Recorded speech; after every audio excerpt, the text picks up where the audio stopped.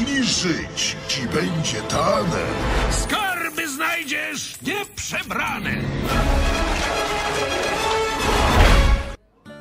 Siemano, ja jestem Sawic, to jest oczywiście Hearthstone i zapraszam was moi drodzy do następnego naszego starcia na rankingu. Już troszeczkę wyżej, już 15 poziom, e, dwie gwiazdki, jeśli dobrze widzę, trzy może. E, nie do końca, nie do końca jestem w stanie teraz określić, e, ale na pewno jestem w stanie określić, jaką talią grałem moi drodzy. Będzie to oczywiście Demon Zolok, nadal w wersji chyba nawet nie naruszonej od ostatniego naszego spotkania. To znaczy nadal, nadal, nadal, nadal gdzieś się bije e, wewnątrz siebie nad odrzuceniem tego Lorda Jarksusa, ponieważ jakoś on mi bardzo do tego konceptu zonie pasuje. E, jakoś mnie kusi nadal, żeby wstawić za niego doktora Hooka, ale ponieważ ostatnie parę meczy udało mi się naprawdę bardzo, bardzo przyjemne synergie z nim zrobić, to aż troszeczkę mi głupio było, było teraz wyrzucać przed nami wojownik, e, wojownik, wojownik, wojownik. Uła, mm, no ręka taka średnia powiedzmy. Znaczy zobaczymy co jeszcze dostaniemy. To będzie fajne na, pierwszo, na pierwszą turę, okej, no gorzej jeśli on wyjmie nam siekierkę. I dlatego grając wokół tej siekierki myślę, że nawet nie zostawiłbym tej jedynki. Eee, jest jedna opcja, kiedy bym zostawił tą jedynkę, jeśli to jest agrowojownik, ale wątpię, aby to był agrowojownik, bo taki się zdarza raz na bardzo, bardzo wielu, więc odrzucimy tutaj wszystko, moi drodzy, nawet nawet kosztem odrzucenia tej jedynki, ponieważ jeśli on ma siekierę, to tak jak powiedziałem, no, no trudno. Ta jedynka już jest fajniejsza, bo przynajmniej zada- zadaje więcej obrażeń e, w jego twarz, e, ujawnia też tę w jakiś sposób tę siekierę. E, no i musimy ją zagrać, myślę. Mm, No wersja, wersja gorsza jest taka, znaczy powiem tak, tu jest y, duże ryzyko. Jeśli ma tę siekierę, no to, no to jest tak trochę średnio, nawet powiedziałbym słabo. Jeśli nie ma tej siekiery, no to jesteśmy w tak fantastycznej sytuacji. E, to jest oczywiście rzadko, rzadko, że wojownik nie dostaje tej swojej siekierki na sam początek, mm, ale myślę, że możemy go bardzo, bardzo tutaj e, napiętnować za to, że nie udało mu się dostać tego. Shield Slam. Shield Slam pewnie w nożownika. E, będziemy po prostu tapać i albo coś dorzucimy, co dostaniemy. Tak, tak myślałem. Od razu wiemy dzięki tej jednej konkretnej grze, że jest to kontrolny wojownik, ponieważ Shield Slama, no, w e, wojowniku patronowym, krótko mówiąc, się nie gra. E, no i teraz pytanie, czy ja chcę dorzucać tego grubeńskiego sierżanta, czy też nie. E, trzecia tura, on może wyrzucić największą postać, jaką może wyrzucić, to może być Berserker. Berserker. E, Berserker. E, on ma 4 życia, więc możliwe, że wolałbym go zatrzymać, chociaż będę miał chochlikozę na turę. Okej, możemy to dorzucić e, też celem zadania większej ilości obrażeń, jakiejś większej obecności na stole. Nie mamy gru, grubeńskiego, grubeńskiego jaja, więc, więc i tak jakaś tutaj synergia z, z tym grubeńskim sierżantem nie będzie fantastyczniejsza. I tak, jeśli byśmy mieli to nadmiar mocy, no dobra, oddaliśmy mu tę kartę w takim razie troszeczkę, troszeczkę za darmo. Ale, ale, ale, ale nadal nie jest źle. Herold Pustki bardzo mnie tu kusi. Um, aczkolwiek nie mam żadnego follow-upu do niego, nie oszukujmy się. Myślę, że im wcześniej zagramy tę chochlikozę, tym lepiej. Musimy mieć e, cały czas w, gdzieś z tyłu głowy to, że on ma bójkę i im więcej będę rzucał, jeśli, jeśli, to, jeśli będzie to tak wyglądało, że teraz bym rzucił Herolda Pustki, a w następnej turze na przykład Pajęczaka, jeszcze coś tam za dwa, to już bym się bardzo, bardzo prosił o bójkę. Eee, w tym przypadku z tymi jedynkami tak naprawdę ułatwiam mu e, życie i, i on ma większe value, jeśli tą bójkę rzuci, ale jeśli na przykład zbustuje je mm, Argusem, to już będzie to ładnie wyglądało. Eee, momencik, zastanówmy się, czy Argus jest na pewno najlepszy. Bójka wtedy będzie taka ha, średnia. E, W przejturze mam bardzo ładny follow-up tych dwóch kart i myślę, że tego możemy się trzymać. Jeśli tu będzie bójka, to w ramach właśnie takiego wystawiania takich średnich postaci, właśnie granie przeciwko bójce takich średnich postaci jest myślę, że najfajniejsze. Jeśli gracie małe, to znaczy, że gracie ich dużo, e, więc jeśli jest dużo postaci, to value z bójki będzie jeszcze większe. O! Jednak udało mu się dostać ten topór. Um, trochę słabo, trochę słabo, że, że go dostał w ogóle, aczkolwiek nadal nie, nie będę narzekał na pewno na naszą sytuację na stole. Myślę, że kolejny Argus tutaj jest e, bardzo, bardzo przyjemny. Chyba, że dostanę jakiegoś demona? Nie. Um, nadal grając, myślę, że wokół bójki zagramy tylko Argusa w tej turze. Eee, mhm, tylko Argusa. Eee, nadal, jeśli tu się pojawi bójka, no dobra, trudno, trudno, pojawi się. Eee, najlepsza postać to może być zostać 3-4, najgorsza w tym przypadku to 2-3 obrońca Argusa, eee, bo, znaczy tak naprawdę dużej różnicy nie ma. Znaczy chyba obrońca Argusa będzie gorszy, bo wtedy e, będzie musiał wziąć mniej obrażeń na twarz. E, On traduje. Wow, czy ten mecz będzie naprawdę aż tak szybki, bo mój przeciwnik tak troszeczkę, troszeczkę szybko spada z tym swoim życiem. Tutaj będzie, będzie musiało się pojawić jakiś nadmiar mocy. Jakiś nawet na pewno nadmiar mocy. Ale czy na pewno... Nie, w sumie nawet nie. Możemy sobie ładnie... Eee, czekajcie. Mm, źle zrobiłem. Nie powinien najpierw przemyśleć całą turę. E, ale myślę, że moja cała tura to będzie... E, Herald, e, szef chochlików i trade trade. Tak, e, nie. To znaczy będziemy tak tradeować. Dobrze zrobiłem? Dobrze zrobiłem, chyba tak. E, będziemy tak tradować, będziemy tak tradować. E, Herald Pustki e, i e, Szef Ochlików. To jest zno ponownie stół, który mógłby on, na który on mógłby rzucać bójkę. Jednak, jeśli ja, znaczy w obawie myślę, że jego przed Heroldem Pustki, w obawie e, przed tym, że ja mogę dostać z tego Herolda Pustki e, albo Malganisa, albo e, no, Doomgarda, no on nie do końca tą bójkę może zagrać tak. Z kolei, jeśli tej bójki nie zagra, no to będzie martwy. Myślę, że facet stoi przed takim troszeczkę słabym konfliktem tragicznym, jeśli tak to można nazwać. To znaczy i tak źle, i tak niedobrze, bo Lital jest na stole. Jeśli on, co, jeśli on nie rzuci, em, jeśli on nie rzuci tego pancerza, no to będzie już, e, krótko mówiąc, e, daleko w tyle. Ja mam 8 obrażeń z ręki, e, z jakimś potencjałem, może na troszeczkę więcej, jeśli nie wiem, stopdekuję Doomgarda. Em, 8 obrażeń z ręki wystarczy dla mnie, że e, ta postać i ta postać przeżyje, jeśli on będzie rzucał pancerz. Okej, egzekucja na tej postaci to już jest naprawdę bardzo duża desperacja. Tak się właśnie myślę, że kończą mecze em, Zo kontra Wojownika, jeśli... Znaczy kończą, przepraszam, już poleciałem z tym kończą. Czy tutaj można gdzieś e, wyniuchać Litala? E, momencik, tradujemy, tra... nie, jeszcze raz.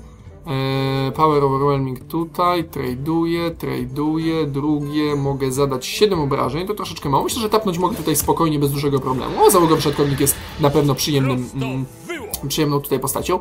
Zrobimy sobie tak, zrobimy sobie e, Poczuj dotyk tak. E, tutaj już, szczerze mówiąc, on nie miał bójki przez tyle tur, więc powinienem już, według mnie, tutaj ustawimy go sobie po tej stronie, albo nie, postawimy sobie, przepraszam, mm, właśnie nie, nie, tego, tego, tego, tego, bo ja i tak nie mam demona, więc, e, więc, więc, więc, więc, więc, więc, więc, w ten sposób, w ten sposób, i powiem tak, nawet jeśli on ma bójkę, to naprawdę nie jest źle.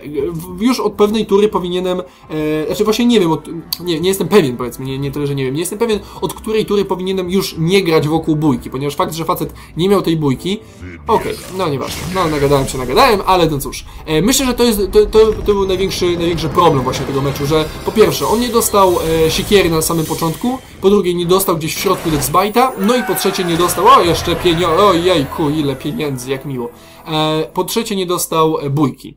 E, Albo nie, chciał zagrać z jakiegoś powodu, może nie grał w ogóle, no nie wiem. W każdym razie to był kontrolny wojownik i to były tak naprawdę trzy karty, które zapewniają kontrolnemu wojownikowi em, no, kompletną dominację e, i, i, i wgraną w większości meczów ZO. E, jeszcze raz powiem, siekiera, e, czy w, w, wojenny, płomienny topór, ognisty wojenny topór, e, Devsbite i bójka. Te trzy karty naprawdę wystarczą wojownikowi, aby, aby całe ZO e, stłumić. Później on zarzuca sobie tego pancerza, no i ZO nie jest po prostu już, krótko mówiąc, za nim w stanie nadążyć. O! Pierwszy Hunter, którego będę mógł e, tutaj em, doświadczyć, krótko mówiąc. O Hunterów się raczej doświadcza, niż, niż próbuje się z nimi grać. Um, pierwszy Hunter oczywiście nie w ogóle, tylko że to musimy odrzucić wszystko. Mieć ogromną nadzieję, że dostaniemy coś za jeden, chociaż coś za dwa. Pierwszy Hunter, którego będę, z którym się będę mierzył tym dekiem, to jest ciekawe. Fajna jest Chochlikoza. Szkoda tylko, że już ją dostaliśmy. O wiele bym wolał ją e, później dostać. E, No tutaj będzie słabe zagranie, będzie Wilkor, później Szef Chochlików. Szef Chochlików bardzo nam może tutaj pomóc, ze względu na te jeden jedyneczki, które będą szalenie przyjemne. Nożownik. E, a, okej, pajęczak. E, ja tu niestety według mnie muszę zagrać tego, e, tego koleżkę, tak, muszę zagrać Wilkora Alfę, e, ponieważ on zagra teraz swojego nożownika, pacnie tym upiornym pajęczakiem tutaj, te noże zabiją mojego szefa chochlików, spoko. E, te, te, tego e, Wilkora Alfy, ja, o, o, a jednak inaczej, dobra. E, takie zagranie jest oczywiście, oczywiście bardziej przyjemne, będzie tradował, prawda? Jasne. E, szef chochlików w takim razie od, ode mnie. Jeśli on chce tradować, no to spoko, powiecie, namnoży mi jedynie tych jeden jedynek. Em, Powalnie raz, drugi, ja będę miał dwie, y, dwa, dwa te chochliki. Nie dość, że on weźmie trochę obrażeń na twarz. Okej, y, tylko nie misza. No, świnka jest nawet okej. Możemy sobie pozwolić, myślę, że na chochlikozę w tym miejscu. Ehm, tak, możemy sobie pozwolić na chochlikozę, e, aby mieć te jedynki i tak dalej, chociaż może. A może powinniśmy zagrać obrońcę Argusa i nim pacnąć tego prychacza i przygotować sobie nożownika z chochlikozą w jednej turze, ale boję się, że im później zagram tę chochlikozę, tym bardziej te jego pieski napiętnują to moje zagranie. E, Zgramy ją sobie oczywiście tutaj. Mm, No, zabijemy to na 100%. No! To było akurat to mniej fajne zagranie. Okej, zrobimy sobie tak. Ponieważ w tym momencie on nie może zagrać i nożownika, i e, chochlik, e, i e, psy, więc tak naprawdę może zagrać tylko spuścić psy. Spróbować mi sklirować stół, dorzucić może coś tam za jeden, albo grobiańskiego sierżanta zagrać. I w twarz oczywiście bardzo... Dobrze, dobrze! Lubi mi po twarzy. Ja naprawdę tak lubię, oczywiście. E, obrońca Argusa między tymi dwoma chochlikami, e, tylko nie wiem, czy to jest na pewno to zagranie, które najbardziej mi się podoba. e, bo ja bym wolał coś większego stauntować, nie ukrywam. No Doomguard bardzo by mi tutaj pomógł. Em, Boję się, że jak teraz nie postawię prowokacji, to już będzie, to już będzie koniec z nami. Ja mogę sterydować cały ten stół i to jest bardzo przyjemne. Um, gorzej, że jeśli on będzie miał spuścić psy, no to jest... Dobranoc, e, generalnie. Mm, może wyrzucenie Dumgarda też jest opcją i sterydowanie mimo wszystko całego stołu. Mm, I tak jakby wię, większą ilość tych obrażeń w jego twarz. Um, jeśli strajduję, to będę miał w sumie na koniec tury 2-1, 1-1 i Dumgarda na stole, więc całkiem fajnie, on będzie miał 23 życia. Eee, raczej nie powinien być martwy w tej turze. W następnej turze co obrońca Argusa i będę pakował obrażenia w. Nawet, nawet mi się podoba ten plan, więc zrobimy sobie tak, zrobimy sobie tak, zrobimy sobie tak. Eee, jeszcze tylko dorzucimy cyk. Wyrzucimy tego, Argusa, y, tego strażnika zagłady, mając nadzieję, że nie rzuci na Argusa. Eee, I nie odrzucił, więc bardzo fajnie. A Grubeński sierżant nie, no, no, oczywiście wolałbym, żeby nożownik e, pozostał w naszej ręce. Chyba najlepsza opcja było właśnie odrzucenie tego nadmiaru mocy i grubeńskiego sierżanta. Właśnie o tym spuścić psy mowa. Fajnie, że on nie rzuca do nich nożownika. E, myślę, że nie będzie tradeował, myślę, że będzie szedł w twarz, bo to e, wiadomo, Face Hunter. Tutaj stauntowanie tego, tego Doomgarda będzie bardzo zatrzymywało tą jego, em, tą jego e, tutaj ofensywę. Możemy nadal coś tutaj uczynić, myślę. Możemy coś nadal tutaj uczynić. E, zbustujemy... Mm, czekajcie. Żeby namnożyć tak naprawdę tych orlików mogę zrobić tak, że właśnie nie wiem, czy ja w ogóle powinienem tradeować. Yy, w ogóle nie. Nie, no da, nie, chyba, chyba tak jest lepiej. Tak zrobimy, aby móc tego Argusa rzucić między te dwie postaci. Tapać niestety nie możemy, to bardzo, bardzo boli. E, zrobimy sobie w takim... Jeszcze właśnie ja nie wiem, czy od tej pory nie powinienem już iść stricte w twarz. Stricte, stricte w twarz. E, ten e, Lord Jaraxus bardzo nam to może pomóc, aczkolwiek, aczkolwiek myślę, że trzech tur to ja mogę nie, nie dożyć, tym bardziej jeśli on ma wyciszenie, e, a z na przykład zanim jeszcze będzie szedł kilkomanda, znaczy jakby miał kilkomanda, to by już mnie zabił, ale... Ale... Mm, ale ale mogę sobie zabić te psy, ale szanse na to, że on nie ma żadnej bestii w ręce też były dosyć małe, grając wokół tego kilkomanda. No dobra, nie ma, nie ma tego kilkomanda, jest fajnie, będzie tradował te pieski w moje właśnie te tutaj fajne postaci. Nadal jest ten duży problem, że brakuje nam, brakuje nam strasznie, e, no jakbyśmy mieli dosłownie, wiecie, dwie, dwie many więcej, e, byłoby bardzo, bardzo przyjemnie, um, no ale nie jest. Najgorsze jest to, że płomienny okryk jest jeszcze bardziej martwą kartą, niż może to się w ogóle wydawać. P e, nie chcę aktywować tej pułapki, która tutaj się pojawi z tym szalonym naukowcem, aczkolwiek myślę, że i tak, i tak jestem tutaj martwy. Jeśli pakuję wszystko w twarz, to będzie 7, 8, 9, mogę go zabić w przyszłej turze, ale on mnie na pewno teraz zabije, więc w ramach dołożenia troszeczkę obrażeń zrobimy sobie cyk. Najpierw zaatakujemy zaatakujemy tutaj, zaatakujemy też tutaj. Um, nie, nie zgubiłem Witala. Znaczy mogłem spróbować go zabić już w tej turze, przepraszam, zrobimy sobie tak, zrobimy sobie tak.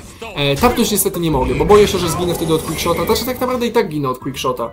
A, więc sobie powinienem móc tapnąć. A, powinien, a, powinienem tapnąć. Ach, ojajajajajajajaj. Powinienem tapnąć ale jeśli on nie ma tego quickshota, to nie, nie powinienem. Może nie, nie, chyba nie powinien, bo jakbym teraz tapnął, to on mnie hero poweruje i w przyszłej turze i tak jestem martwy, bo to jest na pewno wybuchowa pułapka. Więc moja jedyna szansa jest taka, że to nie jest świnka, to jest świnka. E, Okej. Okay.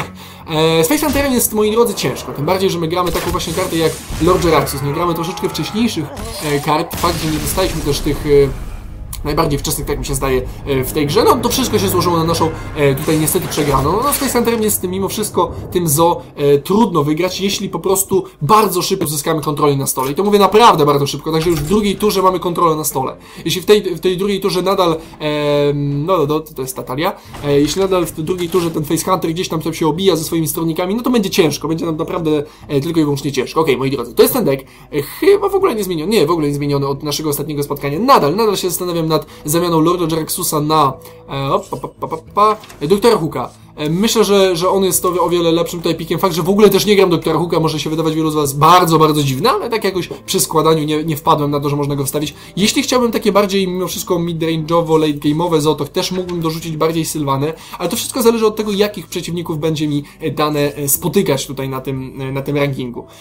To, co mogę jedynie dodać od, o tej talii, takiego myślę, że nie wiem, czy mojego smaczku, czy generalnie smaczku tej talii, to to, że są tutaj aż dwie sowy. E, naprawdę, te sowy ogromnie się przydają. Taka dwujedyneczka, dwa jedyneczka jest bardzo, bardzo przyjemna i, i, i zawsze można ją jakoś tam zbustować, coś z nią zrobić, coś, coś się da zrobić, a najważniejszym już wszystko to jest wyciszenie. Posiadanie dwóch wyciszeń pozwala wam spokojnie, bez dużego problemu, nie musieć, e, znaczy, nie macie tego wielkiego dylematu, gdzie, hmm, w sumie chciałbym wyciszyć tę postać, ale co jeśli on mi rzuci, nie wiem, Tyriona, Sylwanę, co jeśli rzuci coś tam, coś tam, coś tam, coś tam. Dzięki tym, tym dwóm słowom mamy o wiele większą szansę na dostanie tego wyciszenia. To wyciszenie naprawdę w wielu, myślę, że momentach pomaga i ja zdecydowałem się je grać, aby zawsze mieć odpowiedź na jedną Sylwanę i ewentualnie na coś jeszcze, a tych tak zwanych coś jeszczów je, coś, coś, no w każdym razie tych e, innych e, wariantów także jest sporo, także te dwie sowy dlatego się tutaj znajdują. Poza tym myślę, że takie w miarę, w miarę, w miarę normalne zo. No fakt, że jest ten Lord Jaraxus tylko je różni od e, tych klasycznych, można powiedzieć, de Demon Zo, czy zwykłych Zo, e, po prostu. Moi drodzy, to pewny deck, polecam go bardzo, e, wymaga trochę myślenia, wymaga trochę e, kombinowania i to jest w nim fajne, a na samej drabince do legendy myślę, że powinien być całkiem, całkiem solidny. Może nie do końca ta wariacja, może z jakimiś małymi udoskonaleniami, ale myślę, że jak najbardziej w tej mecie powinno działać. Moi drodzy, dziękuję Wam bardzo serdecznie i do zobaczenia.